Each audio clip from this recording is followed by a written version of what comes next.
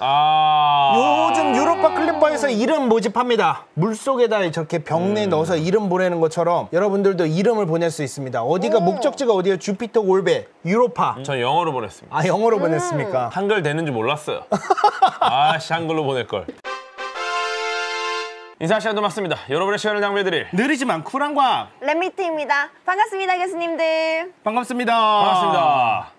맨 처음으로 여러분들께 소개해드릴 제임스 웹 관측 소식이 바로 목성입니다. 이 목성의 이미지 우리 전에 본 적이 있었죠. 음. 그런데 이번에 다시 관측한 결과가 공개가 되었습니다. 오. 적외선으로 보면은 이런 모양을 볼 수 있지만 허블 우주 망원경으로 음. 보는 가시광선으로 보는 모습은 이런 모습이에요. 예. 저 가운데 예쁘죠? 하얀 띠 있죠. 저 하얀 띠가 약간 달라요. 중심부에 어. 있는 게 되게 진한데 저 가운데 중심부를 자세히 관측을 할 수가 있었습니다. 이번에 어. 제임스 웹 우주 망원경에. 이 목성을 저번에 작년에 관측할 때 같이 관측을 했어요. 예. 근데 10시간 관측 시간을 두고 찍은 거거든요. 저거는 음. 뭐 예를 들면 아침 11시에 찍었으면 어. 저거는 밤 11시에 찍은 거죠. 그랬더니 제트 기류의 모양이 달라지는 것을 제임스 웹이 촬영을 할 수가 있었습니다. 오. 이게 진짜 힘든 거거든요. 목성 예. 같은 경우에는 관측을 하기가 정말 힘들어요. 워낙에 적외선도 밝고 가까이 있다 보니까 사실은 제임스 웹 우주망원경이 되게 가까운 천체를 관측하기 위해서 만들어진 건 아니거든요. 그러니까 이게 저번에 목성을 찍고 나니 까 어? 상당히 괜찮은데? 그랬더니 제대로 관측을 해본 원래 거예요. 이 정도가 아니야. 맞아요. 해보니까 괜찮아. 요 목성 대기에도 제트 기류가 있는데 약 시속 520km 정도로 이동을 한다고 합니다. 오. 이게 어느 정도의 그 위력이냐고 하면은 미국에서는 허리케인을 분류할 때 카테고리 5라고 하는 가장 높은 등급이 있거든요. 음. 그게 한 240km 정도 됩니다. 어. 힌남노가 한 그 정도 됐었거든요. 음. 그거의 두 배예요. 깡패다 깡패. 시속 520km 엄청나게 빠른 거죠. 가시광선으로 관측한 거는 되게 안쪽을 볼 수가 있어요. 적외선으로 관측을 하면 상당히 높은 고도, 구름이 약 40km 상공까지도 볼 수가 있거든요. 이런 데서 목성의 성층권 중 아래쪽에 음. 어떻게 이제 제트 기류가 형성이 되는지를 우리가 볼 수 있었죠. 어. 이 제트 기류를 세세하게 볼 수 있었던 적이 없었어요. 왜냐하면 허블 우주 망원경은 그거보다 높은 대기층에서 형성되는 기류들을 확인을 할 수가 없었는데 이번에 음. 제임스 웹 우주 망원경으로 관측이 가능했다. 그래서 예. 이거를 지속적으로 관측을 하면은 대적반도 그 음. 비밀도 풀어낼 수 있지 않을까 생각합니다. 그 다음으로 발표된 자료가 요 천체 뭔지 아시겠습니까? 목성의 위성인 유로파입니다. 인류가 예. 밤하늘을 바라보기 시작한 이래로 생명체를 찾기 위해서 어. 엄청나게 노력을 하지 않았습니까? 유로파에는 바다가 있다는 게 확인이 되었고 그 바다가 심지어 미네랄이 있어. 우리처럼 짠 바다야. 먹을 게 좀 있어. 어 그리고 그 밑에 열수구가 있는 것도 확인이 됐어요. 예. 그래서 지금 주스 탐사선이 어. 가고 있죠. 그리고 내년에는 유로파 주스. 클리퍼가 갑니다. 유로파에는 사실 지구의 모든 바다들을 합한 것보다 두 배의 물이 유로파에 존재를 하고 있습니다. 어허. 이 유로파의 바다가 생명 활동에 야. 필수적인 화학 물질인 그리고 우리가 보편적으로 알고 있는 탄소를 포함하고 있는지는 확인을 못했어요. 근데 어. 이게 제일 중요한데 네 이번에 제임스 웹이 그 흔적을 찾아냈습니다. 제임스 웹 데이터를 분석을 해서 유로파의 얼음 표면의 특정 지역에서 이산화탄소를 발견을 했어요. 그리고 이 분석에 따르면 이산화탄소가 지하 바다에서 나온 탄소일 것이다 라는 가능성이 높고 운석이나 다른 외부 출처에 의해서 전달된 것은 아니다 라는 확인을 했습니다. 더욱이 여기서 발견된 이산화탄소는 지질학적으로 분석을 했을 때 가장 최근 시간대 표면에 쌓인 것으로 밝혀졌어요. 이게 뭐냐? 그동안은 얼음과 바다 사이에 어떻게 연결이 되어 있는지를 잘 몰랐었어요. 이게 지구상에서 생명의 화학적 다양성을 되게 좋아합니다. 다양성이 많을수록 좋죠. 생명이라는 거는. 근데 우리가 탄소 기반 생명이기 때문에 유로파의 화학적 분석을 알아보는 게 우리가 아는 생명의 특징 내에서 이 생명체가 존재하기 좋은 장소인지 아닌지 확인하는데 도움이 되는 거예요. 이 탄소의 어. 발견이. 그리고 유로파 표면에서 확인된 탄소가 바다에서 왔다는 증거가 있다는 것은 음. 그 밑에 생명의 필수적인 요소를 바다가 가지고 있다. 음. 요 의미도 되는 겁니다. 2013년인가 나온 유로파 리포트라는 영화가 있어요. 유로파의 심해에서 사는 외계 생명체의 모습이 담겼는데 되게 예. 과학적으로 묘사가 되어 있거든요. 거기에 나오는 외계 생명체들이 상당히 큰 약간 몸집을 가지고 있거든요. 네. 그 몸집이 그렇게 커지기 위해서는 심해에만 있어서는 안 돼요. 빛의 영향이 있어야만은 어느 정도 커질 수가 있어요. 어. 그러기 위해서는 위에 얼음의 크랙에 뭔가 바닷물과 크랙이 연결되는 부분이 있어야 예. 된다라는 과학적인 그때 당시에는 가설이었죠. 그래서 이번에 제임스 웹이 예. 유로파 표면의 이산화탄소가 타라레지오라고 불리는 지역에서 가장 풍부하다는 것을 발견을 했습니다. 요거 AI로 제가 그린 건데 이 지하 바다와 얼음 표면 사이에 저런 식으로 물질 교환이 있었다는 게 확인이 됐고 네. 예전에 허블 우주 망원경으로 관측을 했을 때는 바닷속의 소금 전 성분을 증거를 확보를 했었어요. 음. 그리고 이 지역에서 이산화탄소도 집중이 되어 있는 것을 바탕으로 이게 당연히 내부 바다에서 나왔을 것이다.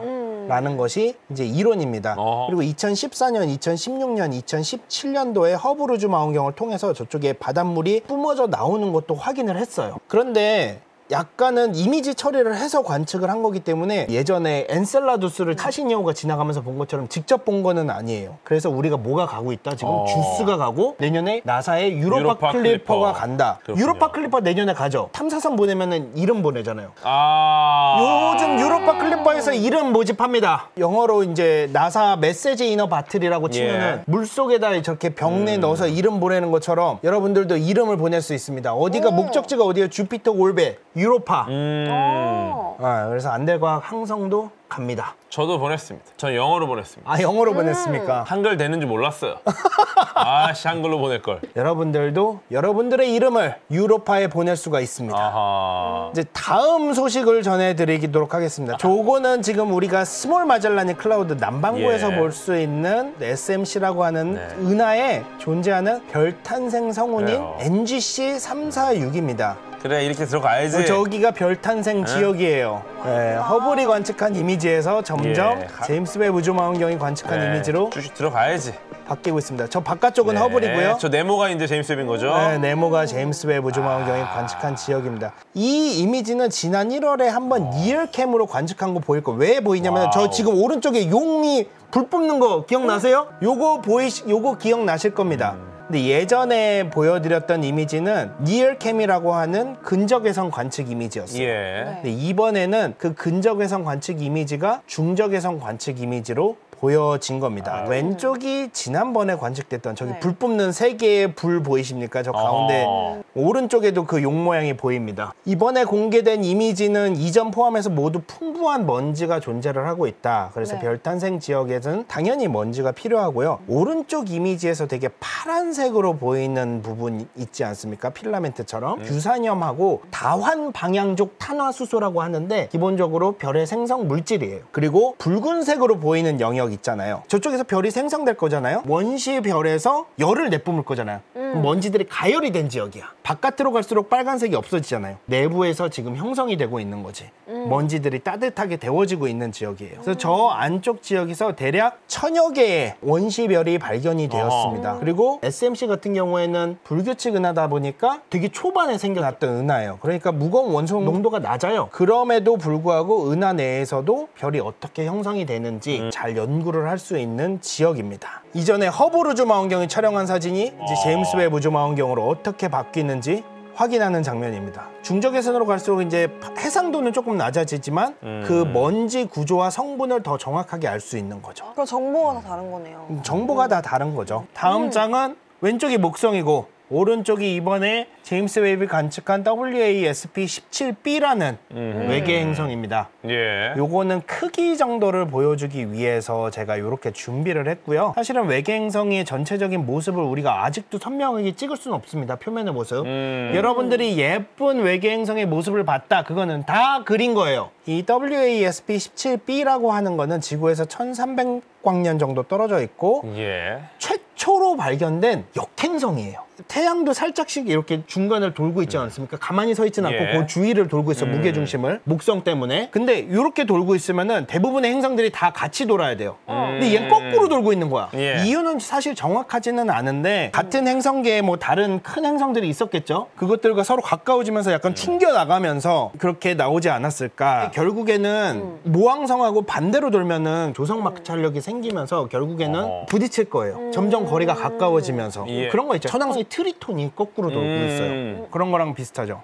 요 질량은 목성의 절반 정도밖에 안 된다고 그래요. 근데 부피는 일곱 배나 됩니다. 부피는 뭐 두 배만 돼도 여덟 배로 늘어나죠. 그러니까 음. 두 배가 조금 안 되는 거예요. 지름 자체는. 좋습니다. 밀도는 그러다 보니까 지구의 70분의 1밖에 안 돼요. 다 가스인 거야. 음. 근데 이렇게 큰 이유는 아마도 그 모항성이 되게 가까이 돌고 있어서 그럴 음. 거예요. 엄청나게 가까이 돌고 있거든요. 공전 주기가 저 큰 게 한 바퀴 도는데 3.7일밖에 안 돼. 근데 이 외계 행성을 허블 우주망원경이 관측을 한 적이 있었거든요. 예. 그때 관측을 했을 때 이 대기가 에어로졸 상태 여러분들 왜 그 에프킬라나 이런 거 뿌리면 약간 에어로졸 상태로 나오잖아요 알갱이는 보이면서 그런 것들로 안개나 구름을 이루는 작은 입자들이 있어야 된다는 거는 밝혀졌었어요 이 에어로졸 성분이 네. 석영으로 되어 있다 아, 완전 작은 모래 알갱이인 아하. 거야. 예전에 관측됐던 외계 행성이나 또는 갈색 왜성이나 이런 데서 관측되는 이런 실리카 같은 경우에는 마그네슘 같은 게 풍부한 것으로 되어 있었거든요. 그러니까 예. 다른 성분들이 있었던 거예요. 음. 근데 얘는 정말 순수하게 석영으로만 돼 있는 거예요. 어. 저기 보이면은 가운데 뾰족하게 튀어나온 거 있죠. 저게 정말 모델 스펙트럼인데 그 석영이 없으면은 저 아래 노란색대로 따라가야 될 건데 아. 석영만 돼 있으면은 저렇게 뽑혀 나와야 되는 거예요. 말도 안 되게 위로 어. 뽑아졌네요. 근데 이번에 관측한 데이터가 저 점점 데이터들이거든요. 예. 점점 데이터 저 지역에서 올라가는 거 보이시죠? 이 WASP에 관측된 그 대기가 순수하게 석영으로만 이루어졌다는 게 음. 알려졌습니다. 이게 얼마나 많이 포함이 되어 있냐는 추후 더 관측을 통해서 알아내야 되겠지만 네. 저렇게 순수하게 석영만 있는 경우는 이번이 처음이다. 이번 관측 결과는 순수하게 규소만으로도 대기에 존재할 수 있다는 그 특징을 찾아냈다는 데 의미가 있다. 다음으로 가면은 천문학자들이 여러 우주 지상 망원경들로 네. 엄청나게 밝은 감마선 폭발인 GRB 230307A를 관 측을 하고 이 폭발을 일으킨 중성자별의 충돌을 찾아냈다고 합니다. 그리고 제임스 웹은 여기를 관측을 해서 뭐를 찾았냐? 주기율표의 가장 무거운 금속 중에 하나인 tellurium을 찾아냈다고 합니다. 오. 이 주기율표에서 tellurium 근처에 있는 다른 원소들, 예를 들면 요오드 같은 원소들은 supernova보다 더 높은 kilonova에서 방출된 물질 사이에 존재할 가능성이 높은 것들이 이제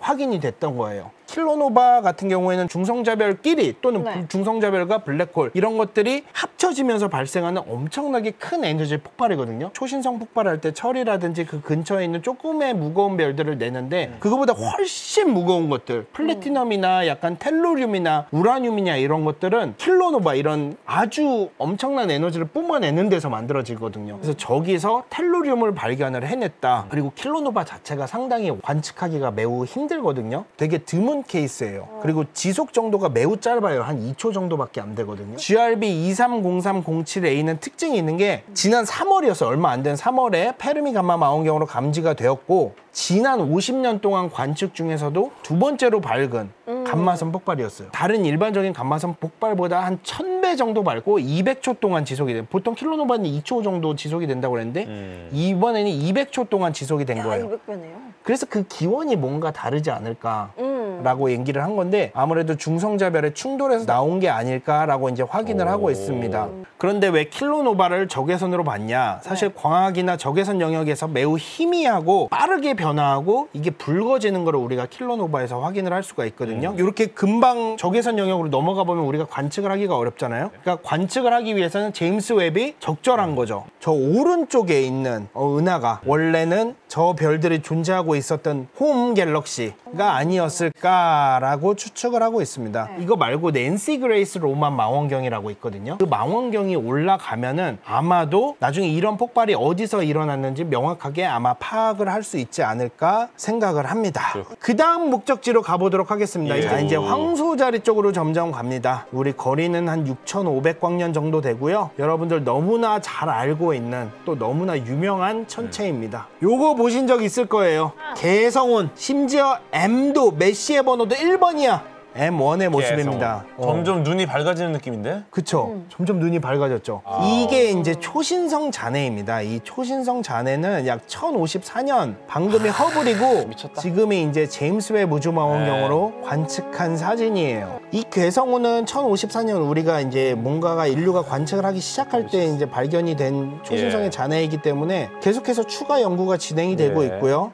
초신성의 조건이라든지 그 여파가 어떻게 진행이 되는지를 알아보기에 정말 적당한 어, 어. 천체입니다. 그 내부의 디테일을 예전에 어느 관측보다도 더 자세하게 볼 수가 있어요. 와우. 음. 엄청나게 디테일해졌어요. 왼쪽이 허블 우주 망원경, 오른쪽이 제임스 웹 우주 망원경으로 관측한 이미지거든요. 어, 네. 제임스 웹 우주 망원경에서는 붉은색 구조들이 이제 명확하게 나타나고 있죠. 주황색 같은 것도 있고 가운데 우유 같은 되게 안개 같은 솜털 같은 그런 형체 있지 않습니까? 요런 형체들이 새로 발견이 됐습니다. 싱크로트론 복사라고 하는 음. 자기장에 의해서 전하가 엄청나게 빨리 돌면서 나오는 방출들이에요. 그 방출을 관측을 할 수가 있었던 거예요. 예전에는 어. 관측을 할 수가 없었는데 그 싱크로트론 복사의 열, 복사 에너지가 어떻게 방출이 되는지를 보여주는 건데 싱크로트론이 왜 나타나냐? 별이 죽었으면은 빠르게 회전하는 중성자별의 생성물이거든요. 중성자별이 별의 시체예요. 저 위아래로 강력한 자기장이 나오거든요. 에너지를 강하게 자기장으로 뿜어내다 보니까 그 주위에 있는 전자들이 저기를 타고 어허. 에너지를 뿜어내는 거예요. 펄사가 저 지역에 위치를 하고 있고요. 저 가운데 저기서 나오는 강력한 에너지 때문에 저 게성운 전체에 그 전자가 뿜어내는 에너지가 방출되고 있는 모습이 이번에 제임스 웹 우주망원경으로 관측이 된 겁니다. 웹이 볼 수 있는 지역들도 있고 그다음에 우주망원경이 볼 수 있는 지역들도 있잖아요. 네. 요것들을 계속 비교 분석을 하다 보면은 천문학자들이 좀 더 초신성이 폭발을 한 후에 어떻게 퍼져 나가는지 어떤 구조로 그 내부 구조가 형성이 되는지를 음. 앞으로 좀 더 자세히 관측을 할 수 있지 않을까. 그렇군요. 이번에 가장 특징적으로 볼 수 있었던 건 내부 필라멘트 구조들을 조금 더 세세하게 볼 수 있었고 음. 저 지역에 우유처럼 저런 솜털로 되어 있는 싱크로트론 구조를 확인을 할 수가 있었다. 어허. 이게 다음 천체입니다. 예전 에 제임스 웹 우주 망원경 첫 번째 이미지를 공개를 했을 때 그 지역에서 막 강하게 중력 렌즈 현상이 일어나고 은하단 네, 그 모습을 본 적이 있지 않습니까? 왼쪽이 허블 우주 망원경으로 촬영을 한 거고 오른쪽이 JWST를 이번에는 MACS 이번 MACS는 Magellanic Catalog of Stars라고 해서 소마젤란 은하, 대마젤란 은하의 이제 별들을 한 20만 개 정도 관측을 한 결과를 나타내는 이제 정리를 한 목록인데 예. 그 중에 하나가 있는 은하단이에요. 왼쪽에 있는 거는 우리가 가시광선으로 관측을 한 거죠. 허블 우주 망원경. 오른쪽으로는 적외선으로 관측을 한 거예요. 두 개의 이미지를 합치면은 우리가 조금 더 자세한 이미지를 확인을 할 수가 있죠. 요거는 한 지구로부터 43억 광년 정도 떨어져 있거든요. 엄청나게 떨어져 있죠. 네. 예. 그 오른쪽에 있는 충돌하는 두 은하단이 앞으로 합쳐지면서 더 큰 은하단을 형성할 예정이고 저 주위에 보면은 뿌옇게 보이는 거 우리 아까 페르세우스 은하단 설명을 하면서 설명했죠. 네. 그리고 그 주위에 별들이 늘어지는 거는 강한 중력 렌즈 효과로 이제 별들이 휘어지는 것도 볼 수가 있습니다. 이 사진을 두 개를 합하면요. 이렇게 보입니다. 여기서 가장 짧은 빛은 푸른색 계열 그리고 가장 긴 파장은 당연히 빨간색을 보여 있고 중간은 녹색 이렇게 보여주고 있습니다. 요게 이제 별명이 되게 크리스마스 장식 같지 않습니까? 어. 그래서 크리스마스 트리 은하다. 알록달록한 게 약간 크리스마스 분위기가 나요. 이 자료들을 다 이렇게 자세히 관측하는 이유는 어느 정도 시간을 두고 여러 번 촬영을 해서 시간이 지남에 따라서 밝기가 변하는 천체인 전문 용어로는 transient source라고 하는데 잠깐. 밝아졌다 어두워지는 이런 소스들을 찾는 게 이 지역을 관측한 주요 목적이라고 합니다. 그래서 총 14개의 밝기가 변하는 천체를 찾았고 이 중 12개는 예. 길게 늘어지는 중력 렌즈 효과로 인해서 확대된 세개의 은하에 위치하고 음. 있고 또 나머지 두 개는 아마 초신성이지 않을까라고 밝기가 변하는 이유가. 네, 그렇게 추측을 하고 있습니다. 근데 그 중에서 하나 돋보이는 게 있는데 조 지역입니다. 이렇게 같은 별이 쫙 이렇게 늘어나는 게 보이는 거예요. 저 별 이름 모스라라고 지었습니다. 고질라 영화와 괴수 나오는 영화가 있는데 거기에 괴수 이름이 모스라예요. 이 모스라는 사실 그 허블 우주 망원경의 관측에서도 보이거든요. 이 별이 이렇게 잘 보이는 이유는 그 앞에 우리 태양의 만 배에서 약 100만 배 정도 사이로 무언가가 확대를 시키고 있는 거예요. 그. 앞에 무언가가 있어. 근데 그게 뭔지를 몰라. 저 별이 진짜 최소 4,000배 정도 확대돼서 보이는 와우. 거거든, 밝기가. 와우. 그러니까 엄청나게 무거운 뭔가가 있다는 거예요. 아마도 구상성단이 아닐까, 뭐, 아까 보여드렸던, 라고 하는데, 이게 재밌는 의견도 있는 게, 음. 암흑 물질로 된 은하단이 그 앞에 있을 것이다. 아. 라고 얘기를 하시는 분들도. 있습니다. 암흑 물질의 별들로 이루어진, 왜냐면 음. 보이니까. 어. 어. 그거는 이제 연구를 좀 더 해봐야겠죠. 저 별이 있어요. 지금 어, 43억 광년 떨어져 있는데 43억 광년 거리에서 별이 하나 보인다? 그것도 4천 배나 밝게. 와 이상하다 이상해. 그 다음에 제가 오늘 마지막으로 소개해드릴 사진입니다. 제임스 웹이 촬영한 우리 은하의 중심부의 모습입니다. 정확하게 중심부는 아니고 우리 은하 중심부에는 세지테리우스 A라고 하는 초거대 질량 블랙홀이 있죠. 그거보다 한 300광년 정도 떨어진 세지테리우스 C라고 불리우는 영역인데 아주 별들이 되게 밀집되어 있고 별들의 형성이 엄청나게 많이 일어나는 지역입니다. 그 어떤 망원경도 이렇게 높은 수준의 해상도에서 감도를 가진 적외선 데이터가 없었어요. 사실 이 은하 중심은 우리 은하에서 가장 극한의 환경이에요. 진짜로 별들도 많이 모여 있고 블랙홀의 다이내믹스도 엄청나게 영향을 미치고 있고요. 그렇기 때문에 우리가 알고 있는 별 생성 이론이 가장 한계치로 테스트를 받는 거예요. 우리가 생각하는 게 맞냐, 안 맞냐. 여기서 맞으면은 그게 맞다고 봐도 돼. 다른 지역의 별 생성 이론이 맞다고 하더라도 여기서 안 맞을 수도 있어. 너무나 별 생성이 폭발적으로 다이나믹하게 일어나고 있는 지역이에요. 우리 은하 중심부는. 이 사진 지역에 별이 거의 한 50만 개의 별이 있다고 하거든요. 어. 아직 형성이 되고 있는 원시 별들이 모여 있는 곳이에요. 저 노란색 원 안에 말씀하시는 건가요? 아니요, 저 초록색 안쪽에. 위쪽에. 네, 위쪽에. 아. 근데 저 까만색 있죠? 까만색. 저기에 구름이 너무 두꺼워서 제임스 웹으로도 지금 뚫어서 못 보는 거예요. 제가 아까 말씀드렸던 별 생성 이론이 한계치로 테스트를 받는 이유도 저 지역의 구름이 밀집도가 엄청나게 높기 음. 때문이에요. 위쪽도 별이 엄청나게 많이 태어나는 지역이라고 제가 말씀을 드렸는데 되게 다른 지역에 비교해서 뜨문뜨문 보이지 않아요? 네. 그러게요. 이것도 안 뚫린 거예요. 그나마 아. 뚫어서 저 지역에서 지금 별이 엄청나게 생성이 되고 있는 거를 게 아니라 안 뚫렸구나.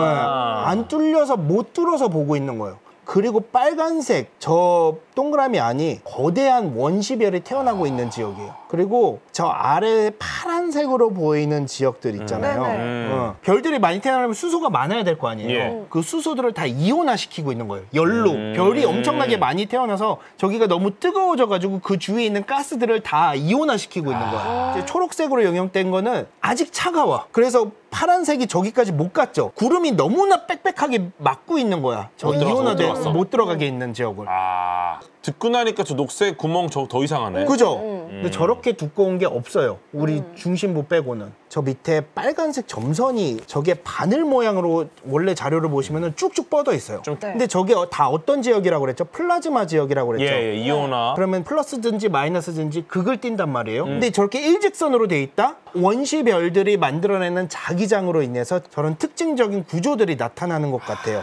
은하의 중심부는 지구에서 한 2만 5천 광년 정도 떨어져 있죠. 제임스 웹 우주망원경한테는 상당히 가까운 거리예요. 개개인 별 하나하나도 볼 수 있는 지역. 가장 궁금한 게 뭐냐면은 예. 은하 중심부에는 저 이온화가 돼 있다는 건 뭐니 무슨 의미냐면은 저기서 태어나는 별들이 엄청나게 큰 별들이라는 거예요. 우리가 은하 가장자리에서는 작은 별들이 태어나거든요. 네. 은하 외곽에서는 작은 별들이 생성이 되는가? 왜 우리 은하의 중심부에서는 나선팔의 가장자리와는 달리 더 거대한 별들이 형성이 되는가에 대한 질문에 대한 답을 줄 수 있는 관측 자료예요. 작은 별의 생성 원리는 사실 자- 어느 정도는 잘 밝혀져 있거든요. 음. 근데 거대한 별이 어떻게 생겨나는지는 아직까지 그 구조가 밝혀지지 않았어요. 어느 정도 작아도 별이 형성이 되는데 음. 왜 꼭 그렇게 커져서야만 별이 형성이 되는지 그 음. 생성 기작이 조금 다르거든요. 이 부분이 미스터리인데 야. 제임스 웹 우주망원경의 저런 중심부 관측을 음. 통하고 바깥쪽 자리를 비교를 해보면은 만들어지는 원리도 알아낼 수 있겠죠. 음. 단순히 너무 먹을 게 많아서가 아니에요. 왜냐면은 먹을 게 많다고 해서 작은 별이 여러 개 태어날 수도 있는 거고 큰 별이 하나 태어날 수도 있는데 음. 왜 작은 별이 안 되고 큰 별이 되느냐? 이 기작은 조금 다른 문제예요. 오. 앞으로 제임스 웹 우주망원경, 유클리드 우주망원경의 소, 소식은 여기서 다룰 예정입니다. 또 궁금한 게 있는 여러분의 제보 받습니다. lab meeting보다 더 빠르고 시의성 있게 전달을 해드리기 위해서 코너를 새로 만든 거니까 최대한 많이 빨리 다루도록 하겠습니다. 네. 인사 시간도 맞습니다. 여러분의 시간을 낭비해드릴 느리지만 쿨한 과학 lab meeting이었습니다. 감사합니다, 교수님들. 감사합니다. 감사합니다.